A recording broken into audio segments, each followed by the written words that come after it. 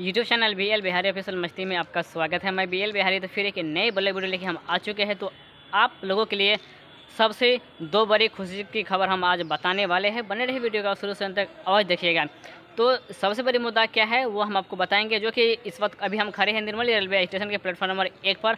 और जो हम आपको बताने के लिए हम जा रहे हैं वो झंझारपुर से होते हुए लौखा रेलखंड के बारे में हम आज आपको बताएँगे, जो कि लौखा रेलखंड के बीच में, जहाँ झंझरपुर से महरेल रेलवे स्टेशन तक काम की फाइनल काम जो है वो शुरू किया गया है। काम लगभग शुरू हो चुका है। इस दूसरी बार यहाँ पर ब्लास्ट आए हुए हैं।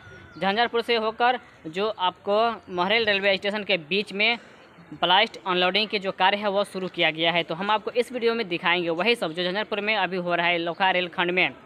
तो और हम आपको एक बात और हम आपको जानकारी हम देते हैं कि मेरा जो कॉमेडी चैनल खुल चुका है और उस पर रेगुलर कॉमेडी आ रहे हैं।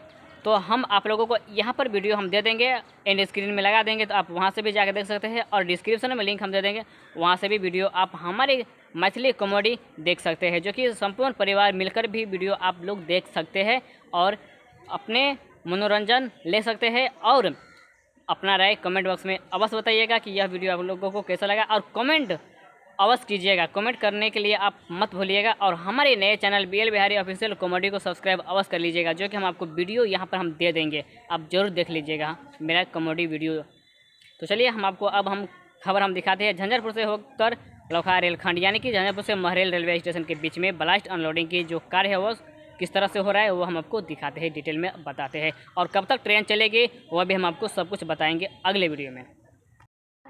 और यह जो आप अभी गुड्स ट्रेन देख रहे हैं तो यह goods train Jhanjharpur railway station से आगे महरेल रेलवे स्टेशन के समीप ब्लास्ट अनलोडिंग की कार्य शुरू किया गया है। और हम आपको दिखा रहे हैं तो बहुत ही शीघ्र झंझारपुर से महरेल रेलवे लाइन के बीच में ट्रेन की जो आवाजाही है, वह सफ़र शुरू होगी और जो कि झंझारपुर से महरेल रेलवे स्टेशन तक फाइनल ट्रेन चलने की संभावना है।